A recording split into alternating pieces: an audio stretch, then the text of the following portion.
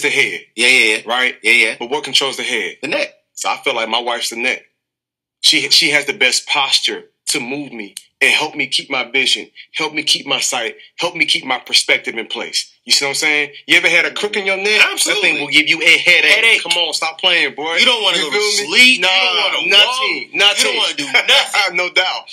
My wife, I used to, me and my wife used to bump heads because I took the DISC assessment. I'm a high I and a high D. She's a high S, a high C. That means she's very analytical. She likes systems. Yep. She's like processes. Yep. I'm like, man, let's just go and get it done. Yep. So I feel like when it comes to our family, when it comes to building wealth and everything else with our businesses, I'm all about moving the needle like the offense. I'm trying to put up points. Mm. My wife is more defense. Mm. I didn't view it like that. Mm. So whenever she would say that's not a good move or we don't have the budget, I felt like she was trying to hold me back. And I was holding resentment in my heart. So when we would have marriage counseling sessions, because I believe you got to invest in your marriage, right?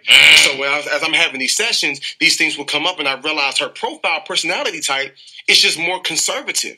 So I realized, like, oh, she's just in protection of everything that I've been able to build. And so I had to humble myself. And so if she says we can't afford it, or this is not the time, or we're on a spending freeze, I'm rolling my eyes, I'm sucking my teeth. But I know that, hey, you know what? It's She's- not, she's just in protection mode.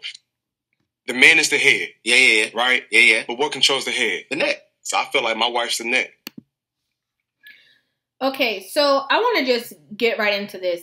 What he's uh, in this video, what he's saying, I don't believe is inherently uh, a hundred percent incorrect.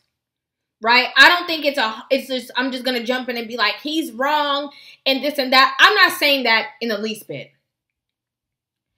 But what I am saying is, this mindset is actually doing more harm than good to relationships.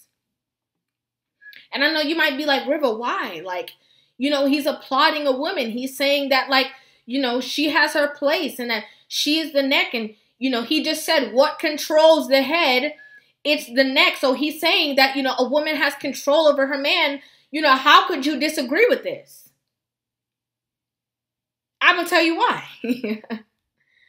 I disagree with this because a lot of women don't know their place. Bottom line, a lot of women do not know when to hold them or when to fold them. You give them this much room to say that they control anything, and they feel like it's their show, they're the headliner, and they're running everything including you, including your mind, including your pockets, including your time. It is very seldom that you see women who are with men who are trying to play the back seat, who are like, nah, you know, he's the one that's in control. He's the one that says A, B, and C. He's the one that guides the situation. He's the leader. You have a lot more women who are saying, I wear the pants. It's me. I run the show. I'm the one who does this. I'm the one who does that. And what I noticed is that a lot of people from I don't I don't know the names of the generations. Okay, I'm not gonna lie. I don't keep up with the time frames or of the generations, but a lot of the people that I would say from back in the day, which would be considered like, you know, my grandparents' generation, a lot of these men were assertive. Okay? They were not talking about this happy life, happy wife, happy life foolishness. They were not about that. Okay? Everybody had their role, but they were the ones that were respected. They were the ones that were, you know, the at the top of the totem pole. It was them, the wife, the kids. Okay? Like it was just a very known thing. But you see, after that generation, all the way down to uh I would say the generation right before me, this whole happy wife, happy life thing has had these men in the chokehold. okay? We hear it. If you don't believe me, listen to the music from the 90s, late 80s, early 90s, early 2000s. This happy wife, happy life, do everything to please a woman, you know, fall to her feet, kiss her feet. You know, if she says this, it goes. If she leaves, I'm this, I'm that, I'm bent out of shape. Like that whole mindset had the men in a chokehold to their detriment. Why? Because the woman took it and ran with it. So not only is it happy wife, happy life, not only is that, that is it that if I'm not happy, you're not happy. It has now come to a thing that only my happiness matters. In that happy life, um happy wife, happy life mentality, a lot of the men put their wives' needs before themselves, didn't communicate in a certain way, weren't effective, uh, effectively communicating their feelings. They were hiding their masculine traits so that their woman would feel happy and feel good and feel secure in the relationship. Oh, I can't look at another woman. I can't do that because I don't want my wife to get mad. I can't exude my masculine behavior because I don't want her to get mad. You know, happy wife, happy life. I can't do that. I have to walk around with blinders. If a woman is nice to me in the grocery store, I have to blatantly disrespect this woman that I do not know so that my wife will be happy. It created that scenario. An unhealthy way of thinking. That's why you have these women right now acting like they, they run the show. like you have these women thinking that they run the show. Can't tell them nothing, can't tell them no different.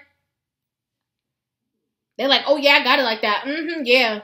I'm the one. It's me. I'm the pro I'm the because you are addition. I'm the one. Member, happy wife, happy life. Hello. Should men be um glorify their wives that do not cause them stress, that are peaceful, that are respectful, that are cooperative, that are submissive, that are um, aiming towards the same goal, the same vision, the same purpose, with their husband's best interest at heart, with their man's best interest at heart, that will do anything to create a comforting, safe, reliable space for him. Should those men glorify their wives? Absolutely. And that is why I don't, uh, that's why I said I don't 100% disagree with what he's saying. Because he is speaking from a place that he um, has clearly, you know, as he's saying, he feels that he has found the perfect balance for him and for his lifestyle. And so he honors her. Women should be honored if they're honorable. If they're honorable. Right? So I agree with that. I, I absolutely agree with that. However, it is important that we know that it's not just about just honoring a woman because she is one. It's about traits. It's about what she exudes. You can't just be uh, walking around. It's it, that would not show traits of a good leader if you are allowing this person to just swing you by a thread to and fro just because of this rhetoric happy wife, happy life, or you know, I'm the head, she's the neck. So gotta trust her, gotta lean on her, gotta rely on her. Like you're a leader. Trust your instinct as well. You can rely if she's reliable, yes, you can rely on her, but it's your instinct, it's your leadership. But I want to know what you guys think about this. I could talk about this all day long. I want to know what you guys think about this in the comment section down below. Make sure you guys hit that subscribe button and give this video a thumbs up. And I will see you guys in the next one. Love you.